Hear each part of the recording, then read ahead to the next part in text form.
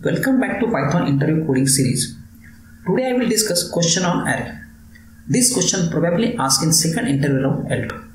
The question is to find the longest common prefix amongst an array of a string.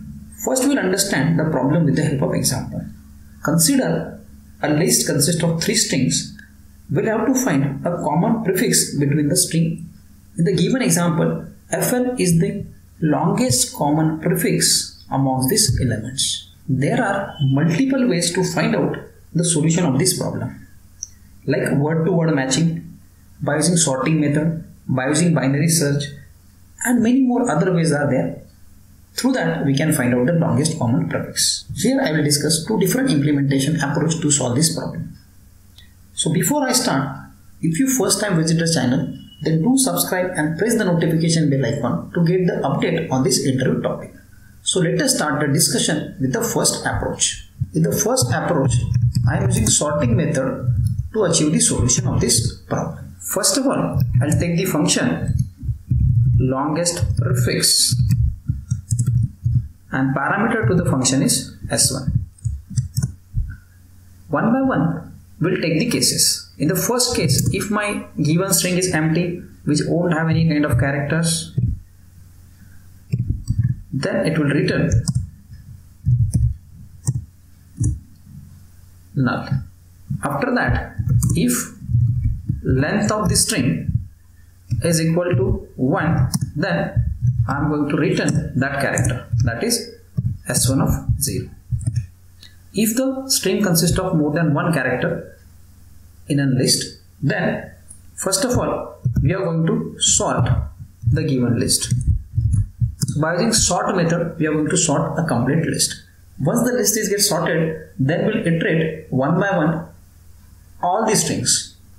So I'll take the prefix as empty where I want to store the output.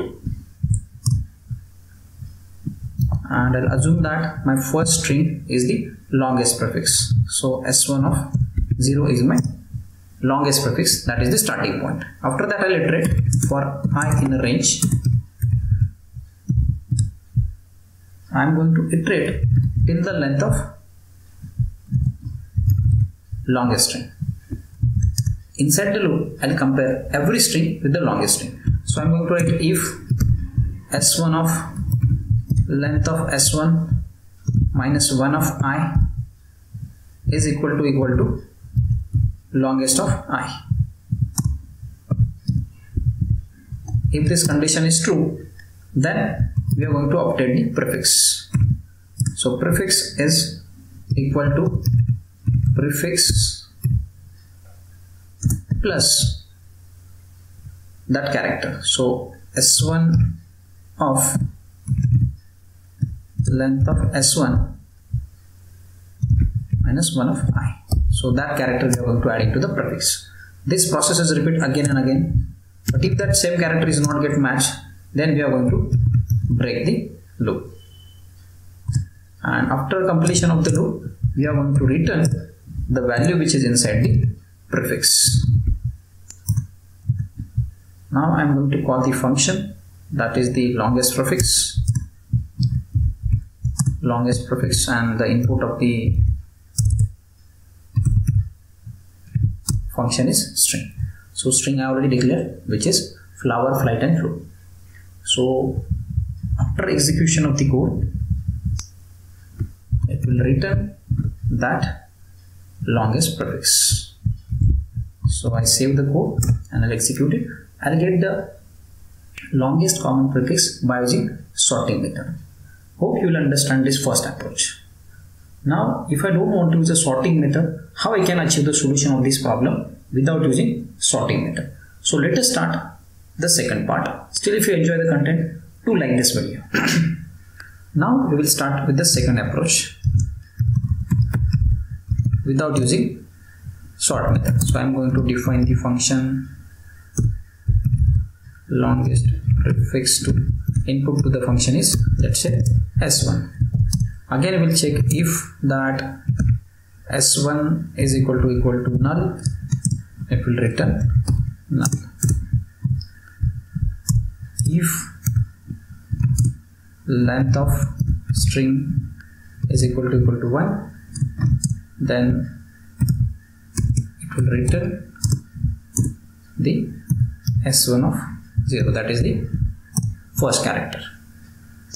After that we'll take some variable common which will hold the first string element because I don't want to sort. And I also take the common length is equal to length of first element in the list. After that I'm going to iterate for each and every character of that string. So for s in s1 of starting from 1 till the last character. Inside the loop I'm going to write while common is not equal to s1 of colon character length or you can say common length. Inside the loop common is equal to common colon minus 1 common length is been preserved is equal to length of common and finally if that common length is equal to equal to 0 then it will return null after that it will return the common prefix.